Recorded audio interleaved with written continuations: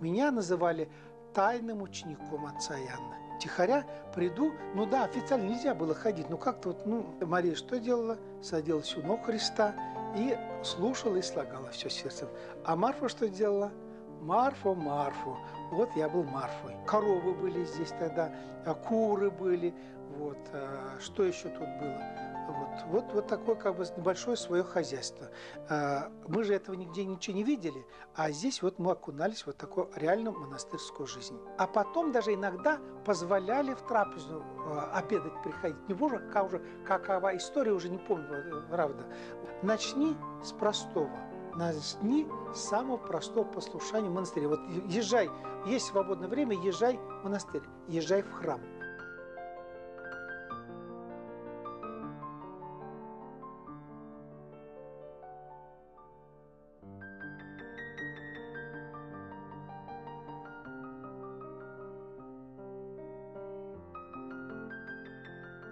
Человек с деревни, простой, крестьянской семьи. Э, одна мать меня воспитывала. Я был, был, вообще был любопытный ребенок. Везде все надо было не успеть, узнать, увидеть, особенно покойников. Тогда, так сказать, о Боге никто ничего не говорил, церкви не было. Только лишь помню, что в деревне жили сегодня, говоря уже современным языком, наверное, юродивый, Христа ради юродивый, а тогда говорили, ну, дурочка, вот на, да, две-три семьи таких было. И э, была женщина, вот, богомольная, матушка Мария. И вот эта матушка Мария ходила по покойникам, читала. А, видимо, я, как сейчас уже понимаю, псалтирь. И мне запомнилось «Аллилуйя, аллилуйя, аллилуйя». Что это такое, я не понимал. И что-то красиво пели когда у покойника были, там что-то читали, пели и хоронили. Вот, значит, э, на всех похоронах я бывал. А потом боялся этих покойников. Вот даже на улице говорю, мать, пойдем, там, там покойник стоит. Мне, поэтому было все любопытно. По, не помню, в каком классе а, меня а, мама взяла а, в город, в храм. А я рассказала об этом своей классной руководитель, то ли второй, то ли третий класс. Она говорит, не надо в храм ходить. Она не жестко, не пресекала, она просто сказала, видимо, как педагог, она должна была сказать, а, значит, э, деревенская наша учительница, но мне очень понравилось. Улья... Это город был Ульяновск, кстати, ныне Симбирск. И, значит, мне очень понравилось. И вот как-то это было все в душе, мне интересно, любопытно. Короче говоря, любопытство привело к Минивере. Потом уже мы переехали в город Ульяновск жить, на пригороде жили. Вот меня повели опять, можно сказать, в этот же храм.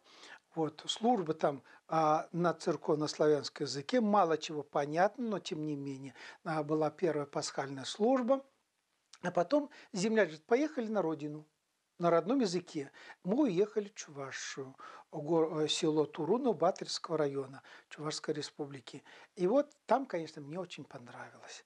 Я, значит, потихонечку, опять любопытно, мне все интересно, это что это, зачем это, почему. Я потихонечку, вначале а, у Салии там сидел, а у иконостаса, потом, значит, а, пролез на клирос, с клироса в алтарь, к батюшке и, значит, э, начал там пономарить, помогать, что-то там мне дали почистить Евангелие, кадила. И таким образом вот я стал прихожаном этого прихода.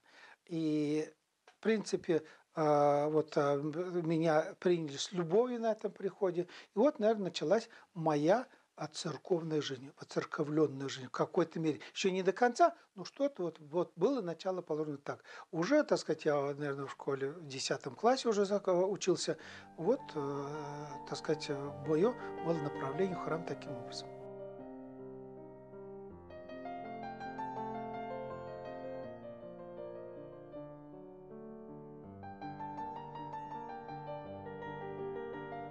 Значит, эта же матушка Мария говорит, ты хочешь поехать в монастырь? Хочу. Вот она мне дала моего сверстника, двух бабулек, а, напис, напис, да, до этого я слышал.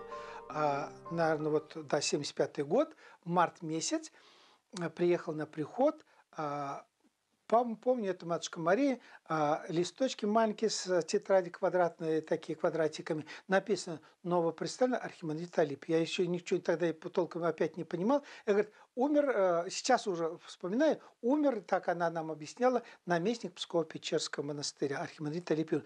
Весь храм, весь приход молился за отца Алипия. И вот где-то она на, летом, наверное, хочешь поехать? Хочу. Вот она мне дает сверстника, а, двух бабулек, написала, приедешь в Москву на Казанский вокзал. А переходишь на Ленинградский вокзал, 15.01, уходит поезд Москва-Таллин. Надо покупайте билеты, садитесь в этот поезд.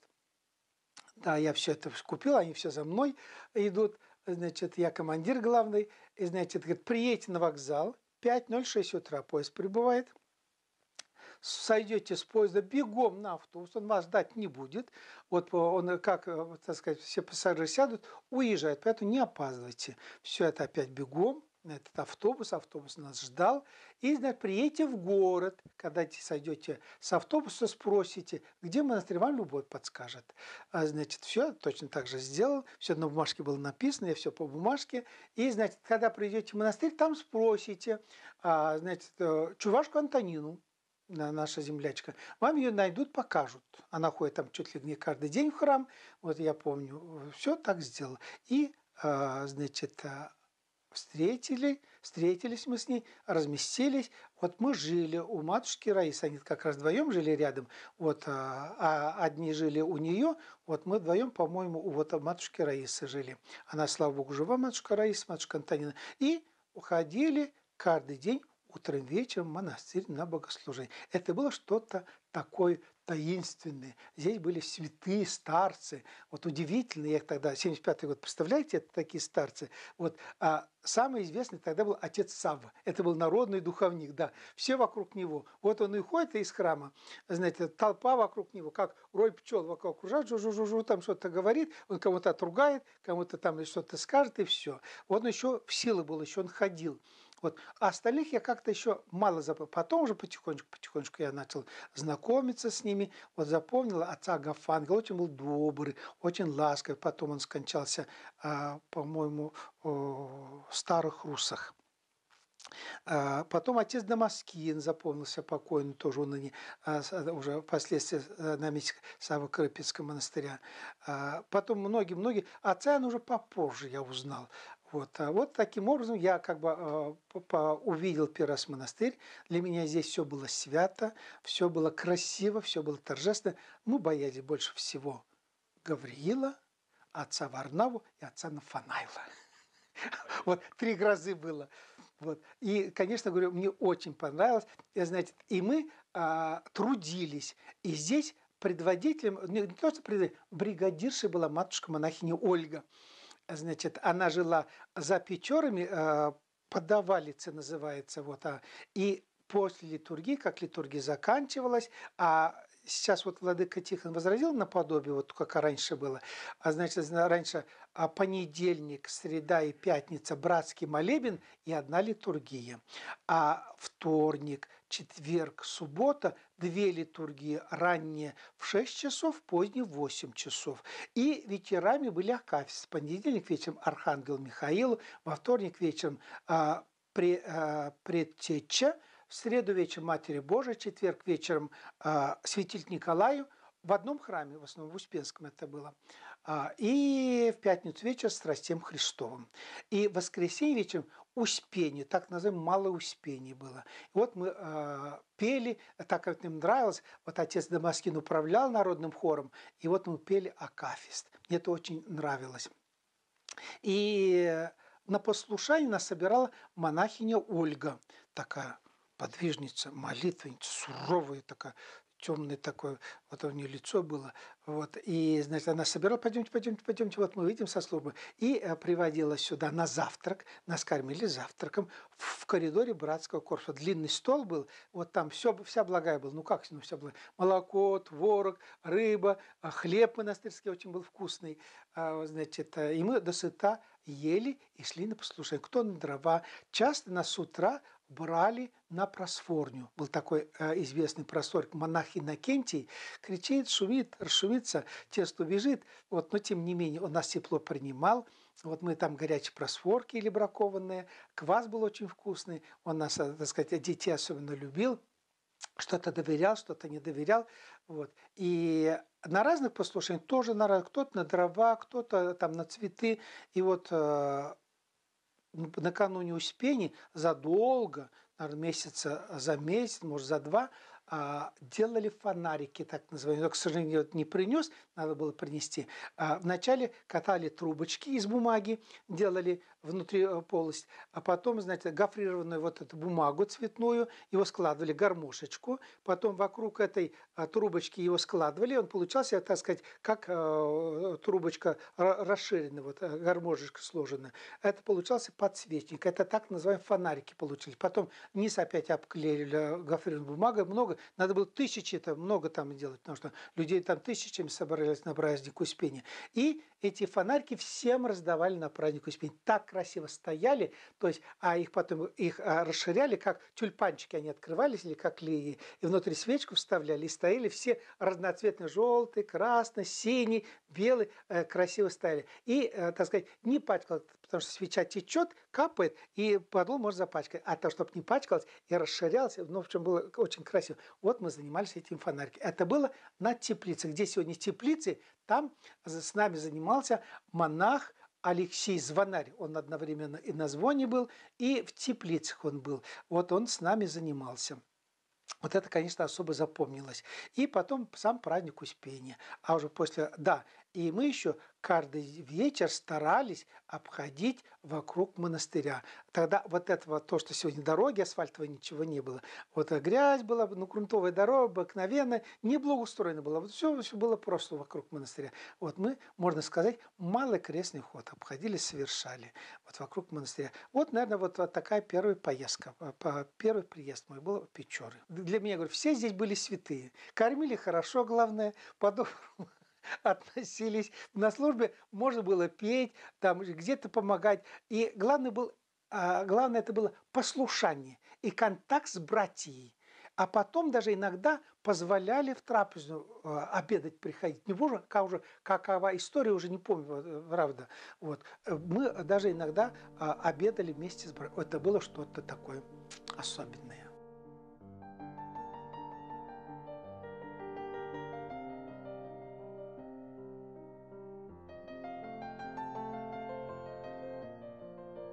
Это была гроза всех морей, а, народов и океанов. Да, действительно был, потому что у меня было жесткое воспитание мать, и здесь такой строгое воспитание, он очень был строгий, вот и да, э, да. Но он как-то вот он, ну, приглянулся я ему, ну, мальчишка, да, так сказать, еще не испорченный, видимо, не развращенный до конца, вот, и он и подьяка на меня взял. Вот я пять лет был рядом пассажником, обслуживал архиерейский стол, у него покоя гостей обслуживал и, конечно, доверял. Потом вот он меня сделал экономом. Конечно, был это удивительный человек. Но мы все его боялись, в том числе отец Ан. Вот а он всегда ходил по лумантии, знаете, ходил с посохом, а, а посох а, у него был невысокий, богослужение одно, а это повседневный обыденный посох. Значит, наконечник был там металлический, вот он идет, удар тик, тик. Так, когда его нет, мы шушу там, ну, ну, ну жили обычно. Гавриил э, идет, все по норм, никого Все разбегались, потому что идет наместник Гавриил Гроза. Значит, а, и если он и надушился ароматы, а, значит, если слышали, пахнет там его духами, все, все по норм, никого не знают, здесь где-то Гавриил рядом. Поэтому с ним было весело. И, конечно, я говорю, боялись отца Нафанел. Он нас гонял, он был архидиаконом, а мы молодежь все-таки где-то поговорим, где-то посмеемся, где-то чего-то, вот и все. Он так просмотрели на нас, на нас, и все это было достаточно. Иногда нас разгонят, там, нашу компанию детскую. Вот, и, конечно, появились Варнава, отца Варнава. Я им тоже очень благодарен, очень по-доброму ко мне отнесся. Вот он уже сейчас на приходе. Вот, а, его называли черной бородой, потому что борода была большая и черная. Барабас Схигумен Осия был такой бывший кузнец, он уже был глухой, но к нему приходил, вот э, иногда в келю к нему приходил. Он жил, а сейчас где живет отец Иродиакон Даниил, вот в этой келье он жил, старец Божий. Потом отец Агапит, а, Агапий, вот, Афиноген тогда, я еще его помню, а, Афиногеном. Вот помню еще отца нынешнего а, приходит к нам иродиакон Яков Зарудний, который был на Афоне. Я его, когда пришел, он уже был иродиаконом. Потом вот он уехал на Афон. А, значит, а, затем и другие старцы – вот а, отец Агафангел, отец Дамаскин, вот они очень, так сказать, по-доброму относились к нам, молодежи, снисходительно. Они всегда, а, знаете, чем могли угостить, подарить чего-то. А, и, ну и другие старцы, вот, а, а, ну такого тесного общения не было. Вот, вот. А потом уже, когда уже я поступил в число братьев в 77 году, вот уже более тесное общение началось уже тут. Но тем не менее, как-то тогда э, вот открытого а доступа, как сегодня, к старцам не было. Как-то было все-таки ограничено, не так вот открыто. Захотели, пришли, захотели, а как-то все вот полузапретом было. Вот. Почему, не знаю. Ну, советская, светская власть тогда, советская власть требовала все ограничить. Вот не было такой духовной жизни, но она продолжалась, она была. Вот ее уничтожить невозможно было, потому что это был монастырь.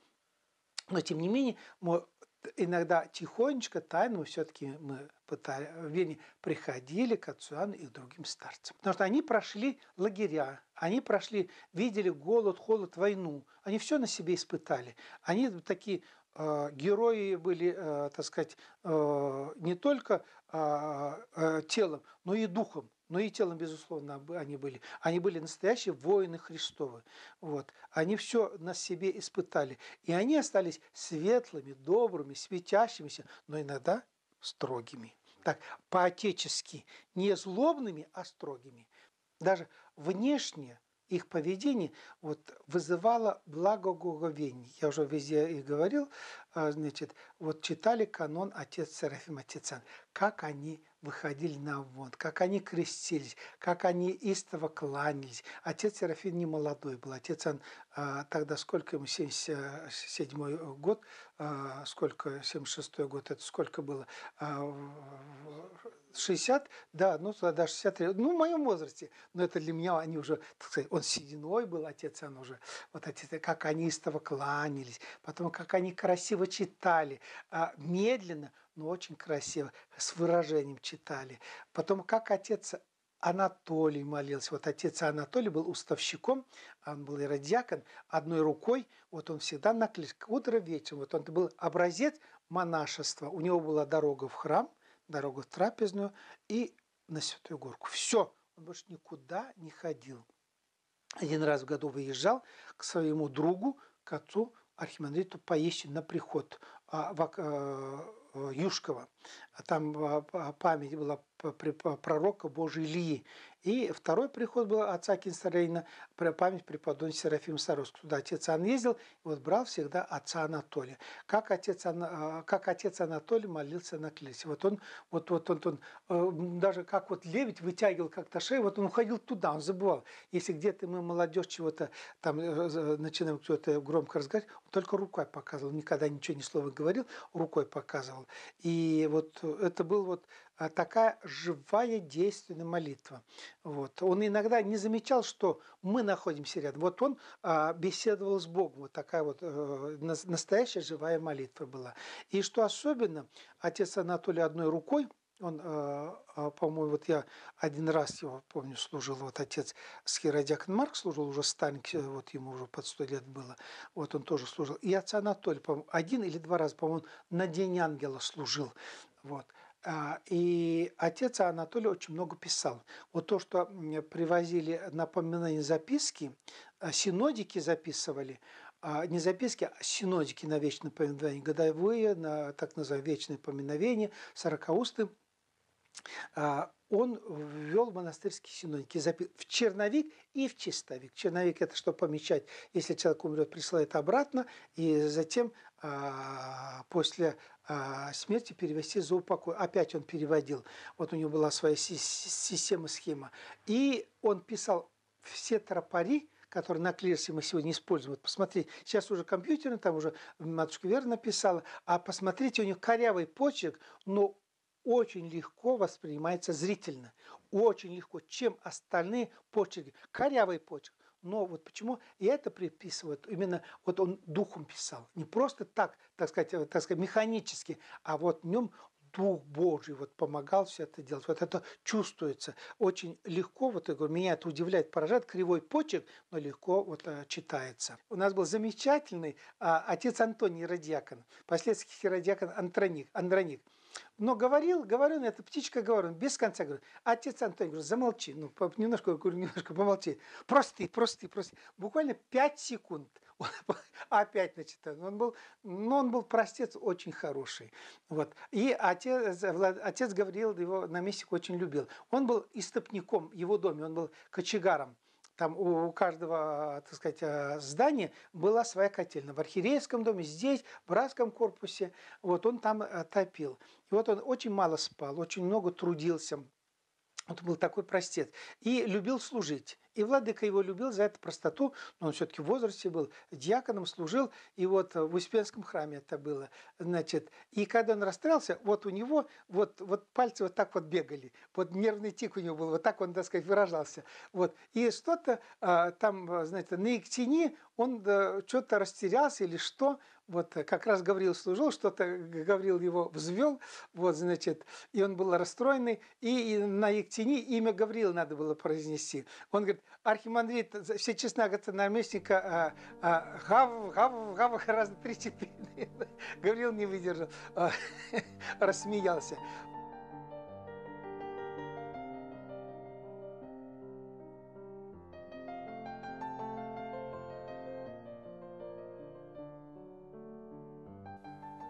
Сюда приходят не святые, сюда приходят со своими немощами, недостатками. А монастырь – это духовная академия, это духовная врачебница. Вот. Конечно, приходили сюда а, со своими проблемами, вот, да. Вот придешь к отцу Иоанну, что-то расскажешь, или вот иногда вот я, будучи на послушании, вот люди же приезжали сюда в первую очередь а, с духовными проблемами, за, за советами, за наставлениями, вот к старцам, к отцу Иоанну. Вот. А он приехал, такой хороший человек, хороший труженик, хороший специалист. Я его надеюсь на работу, он говорит, а мне отец Иоанн благословил уезжать. Я говорю, как уезжать? Мне нужно то-то, то-то, ты вот сделай все. Я к отцу Иоанну. Вот зачем отец Иоанн вы отправляете? Он на меня смотрит, смотрит, смотрит. Вот моргает, моргает глазами, я ему наброшусь. Он мне выслушает, потом усаживает и успокаивает. А теперь тоже я понимаю. Они только второе, это то, трудиться, нести пустое. А очередь они приехали помолиться Царице Небесной, нашим преподобным, а, там пещеры сходить, к старцам сходить. А потом уже, конечно, послушание. Вот. И, а я же тогда это не понимала. Моё, у меня задача была хозяйство вести. Вот там рабочие руки не нужны были, не хватало. Вот придешь к отцу, вот что-то вот так возбужденный, а, значит, он тебя успокоит, вот все а подводит к тому, что в итоге во всем виноват сам. Не кто-то, не наместник, не благочинный, не келлер, а виноват ты сам. Это тоже была большая школа для нас. Вот они нас учили смирению, никогда никого не осуждать приучали терпению, вот, приучали а, и к посту, и к молитве. А дальше все зависит уже от тебя.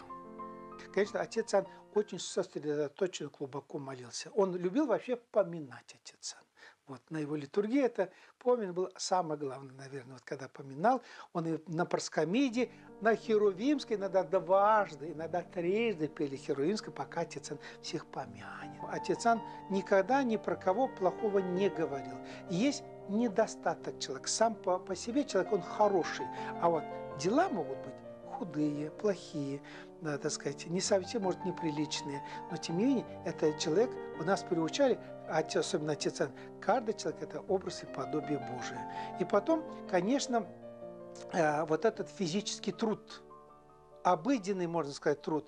Вот. И вот мы здесь и пилили, и пололи, вот на грядках там помогали. Огородов тогда не было. Вот в саду это было удовольствие находиться, там что-то помогать делать. В тех же теплицах. Это нам приносило радость вот это вот. А, коровы были здесь тогда, а, куры были, вот. А, что еще тут было? Вот, вот, вот такое как бы небольшое свое хозяйство. Мы же этого нигде ничего не видели, а здесь вот мы окунались в вот такую реальную монастырскую жизнь. Меня называли тайным учеником отца Иоанна. Тихоря приду, ну да, официально нельзя было ходить, ну как-то вот, ну, сами понимаете это. Вот, и э, хотелось что-то, даже прикоснуться просто спроси, хотя бы получить благословение. Уже было радостно, приятно. Вот. А сами знаете, у отца настолько любви. Даже вот ту же конфету, которую дашь, это вот что-то уже было. Но это же было не в самой конфете, а внимание к тебе.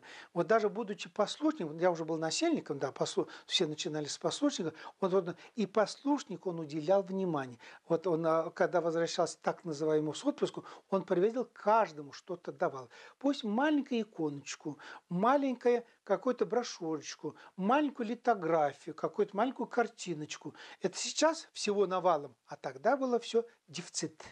Да, вот там Иерусалим, какой-то камушек, какая-то литографическая иконочка, какая-то э, святыня. Это было очень дорого и ценно. Вот поэтому э, тут э, э, отношения были. Вот, да. А отца, и на сами знаете, такое отношение вот, э, с любовью еще он делал. Кто-то строго там скажет, допустим, отец Серафим, он был аскет. Там можно было спросить, он тебе не откажет. Он два-три слова, и на этом заканчивается. По существу.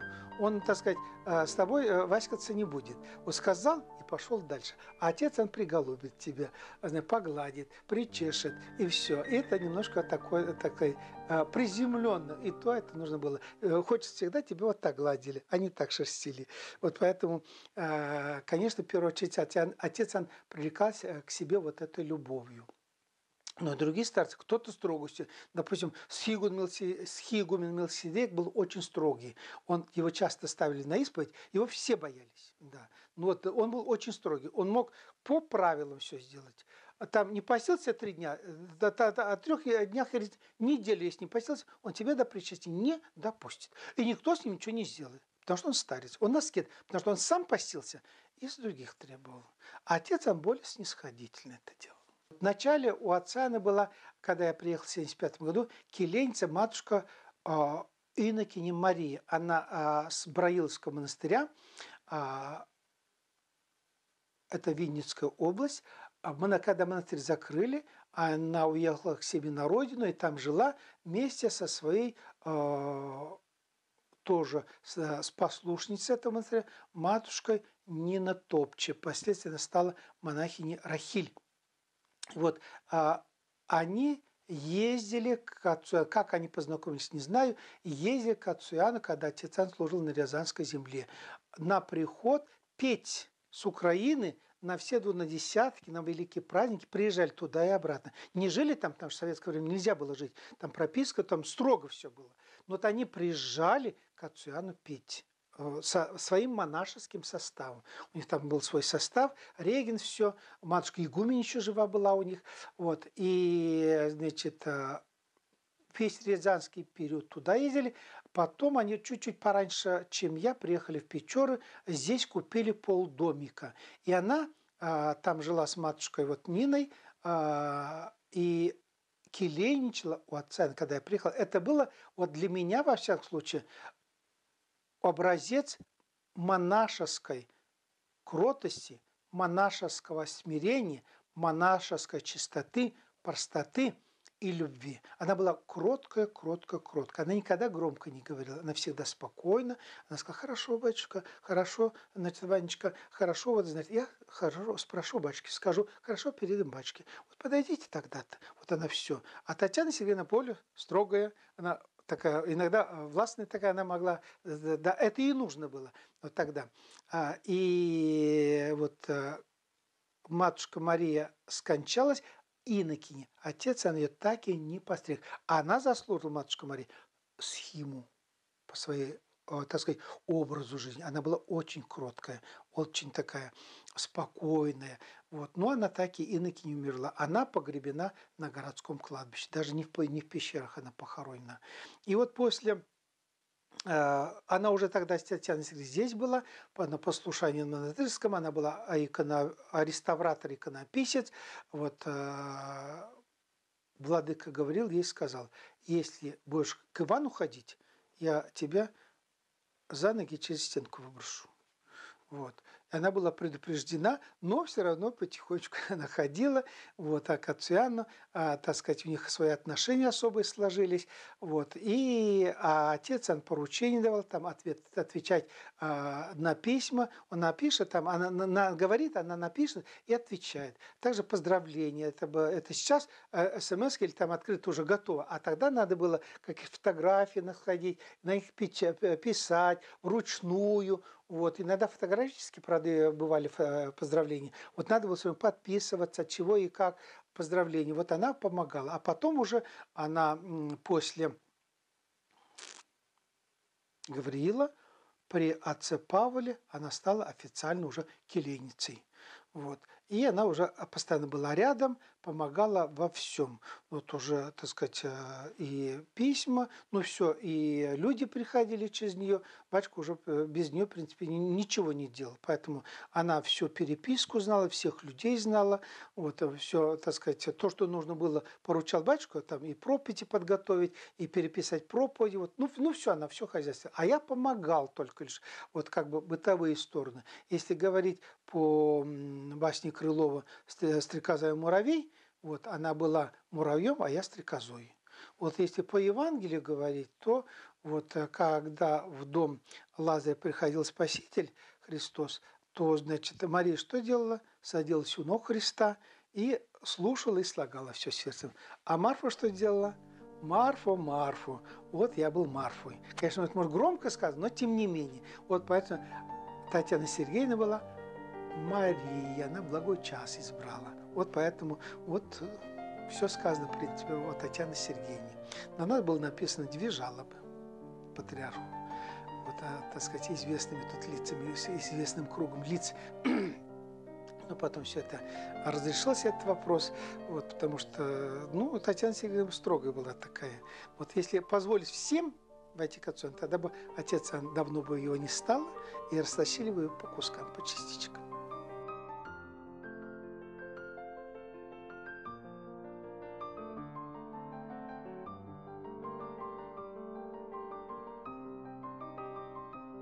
Я не приветствую его поступок. Вот. Я не политик, я туда не лезу. А опять-таки есть в церкви священноначалие.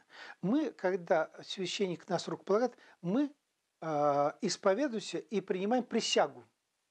И там все четко, ясно изложено, что мы должны делать, как поступать. При постриге монашеском мы должны, э, мы даем обеты. И там обеты. А он давал дважды эти обеты, вот это схигумен Сергий. Поэтому тут э, он нарушил и там, и тут. Вот в моем представлении. Есть священначалие, а над ними есть Бог. А я послушник. Да, а я могу совершать все только с благословения своего правящего архиерея. Потому что я нахожусь в этой епархии. Вот у меня есть архипастырь, вот и он мне дает благословение. Вот, смотрите, на престоле лежит антиминс. Без антиминса литургия божеств не совершается. Антимин с кем подписан? Архиереем подписан. То есть я выполняю его благословение. Ну, там есть свой архиерей правящий. Вот тогда, если что-то ты не согласен, вот ты должен а, опять-таки прийти э, поговорить, посоветоваться. Да, ты можешь не соглашаться, да, так сказать, но все-таки э, не э, бастовать не выступать против. Я думаю, что в жизни отца на немало было случаев, когда те времена, конечно, там ковида не было, ничего не было, я думаю, что он видел еще худшие моменты в жизни. И в церкви, и в жизни Отечества, и своих близких собратьев. Он никогда ничего не говорил об этом. Он даже тени у него не было вот, в сторону священачалия, даже в сторону своих следователей чего-либо не, вот они были неправда, не, нельзя, а, значит, э, так делать, то делать. Вот он никогда ничего подобного не говорил. Я думаю, что отец Анба не приветствовал такой поступок. А, и последний, я вот фрагмент только что услышал, увидел. Вот, он приглашает рядом с собой стать Путина, э, рядом с тобой стать, это, по-моему, э, после ночной литургии или крестного входа на царственных страстотерпцев. Вот он говорит – с какой стати я должен со мной рядом стоять Путин? С какой стати должен стоять патриарх, с какой стати архиерей. Я могу с ним рядом стать, но только не он со мной рядом, потому что он архиерей, а я его послушник. Вот, а, знаете, возьмите мою жизнь. Простите, ты со своей жизнью не, распро... не распоряжаешься. Если надо, Бог его заберет. Жизнь и смерть только во власти у Бога. Вот Он нам дает, да, но все эти поступки мне непонятны. Я его не осуждаю. Дай Бог, Господи, ему понять, осознать, уразуметь. Поэтому есть, опять-таки возвращаясь, говорю, есть архипастырь, которого вы должны слушаться. Нравится он нам, не нравится. Он Богом поставлен. Да, он человек, он тоже может какие-то ошибки свои совершить. Но он отвечает за меня. Я за него не отвечаю. Он меня не заставляет отступать а, от веры, нарушать какие-то канонические нормы, правила. Если ты не согласен, ну, ты можешь, а, так сказать, не а, делать, как он говорит, но ты э, сейчас вокруг себя ты создал вот э, там целое движение какое-то. Мне это непонятно во всяком случае.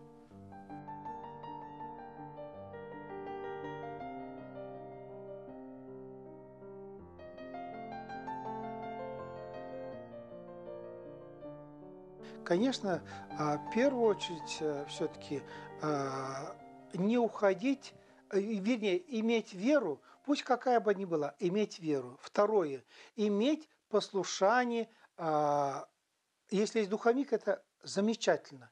Вот своему духовнику иметь послушание церкви через наших пастырей и архипастырей. Вот если у него есть вера и послушание, то все в жизни будет с пользой сделано. А когда у нас вот я начитан, и через интернет я все знаю, мне это не надо, вот я лучше понимаю, вот у меня есть чем сравнить. Нет.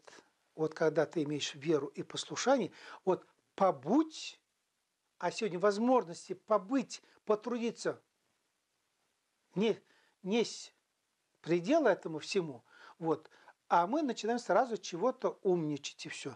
Начни с простого. Начни самого простого послушания в монастыре. Вот езжай, есть свободное время, езжай в монастырь, езжай в храм.